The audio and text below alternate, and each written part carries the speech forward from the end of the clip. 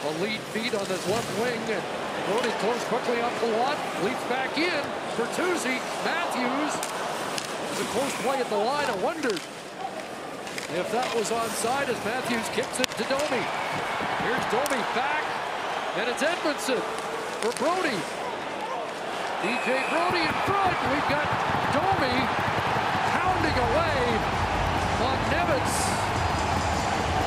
Response to Nemec going after Matthews in the side. Domi was playing the play in the corner, caught it out of his corner hit of his eye.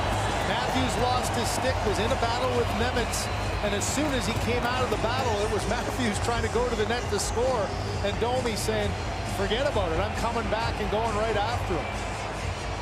And you wonder if he's getting the aggressor here or they're taking him off.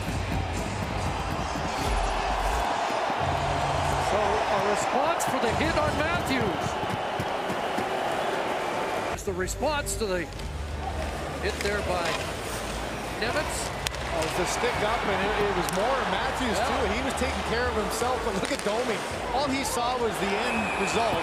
He breathed on it. And he jumps right in, and there's you know, another message sending, which is endeared himself to his teammates and obviously the fans here. Downfall is playing as well. Ty's done that a few times. He, but the downfall is he's been one of the best players. Domi's had a heck of a night offensively, and, and to lose him for 17 minutes now is not a positive. We'll see.